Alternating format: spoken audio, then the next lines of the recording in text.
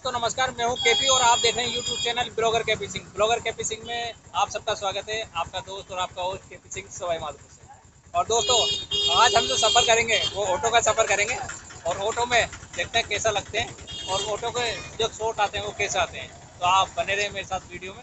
तो हम लोग चलते हैं।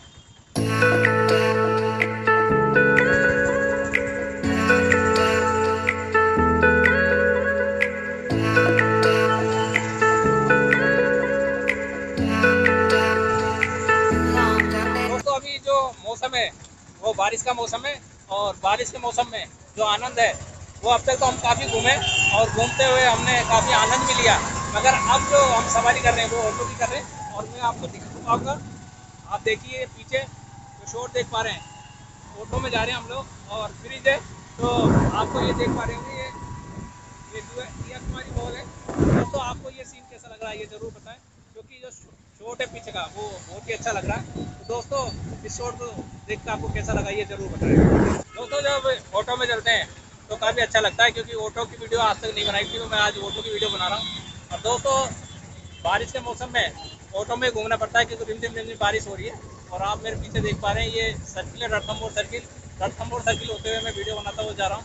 तो दोस्तों, ये वीडियो आपको कैसी लगी, ये ज़रूर बताना। अगर आपको वीडियो पसंद आए तो लाइक करें शेयर करें सब्सक्राइब करें।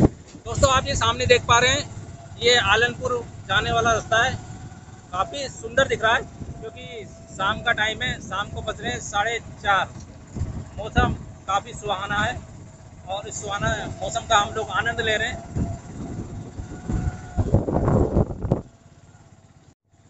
दोस्तों, अभी हम लोग सीटी जा रहे हैं और सीटी जाके आनंद लेंगे वहाँ पर क्योंकि घूमने जा रहे हैं रिमझिम रिमझिम बारिश है और रिमझिम रिमझिम बारिश में बाइक पर तो जा नहीं सकते, इसलिए ऑटो में जा रहे हैं और ऑटो में जाके वहाँ पर कुछ खाएँगे पिएँगे और मज़े करेंगे। तो दोस्तों, देखते हैं क्या खाएँगे और क्या पिएँगे वहाँ पर हमें क्या मिलेगा? वहाँ की फिर पकौड़ी मिलेगी या वहाँ के दही बड़े? मौसम ऐसा ही हो रहा है। दोस्तों, आप ही हमारे साथ में चाट का आनंद लें।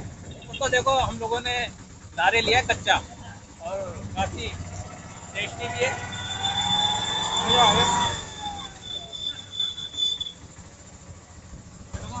साथ मैडम कच्चा नारियल बहुत अच्छा लगता है बारिश के मैडम, बोलिए, कच्चा नारियल बहुत अच्छा लगता है मैडम को, क्योंकि बारिश का टाइम है और हमेशा कच्चा नारियल तो मिलता नहीं है। इसलिए आज हम इंजॉय करेंगे और इंजॉय करने की वीडियो बनाएँगे और इंजॉय करते हुए आप लोगों को दिखाएँगे हम लोग। तो हमारे साथ बने रहे वीडियो और ये कच्चा नारियल ज़रूर खाओ। आपको कैसा लगा ये नाले हमें ज़रूर बताना।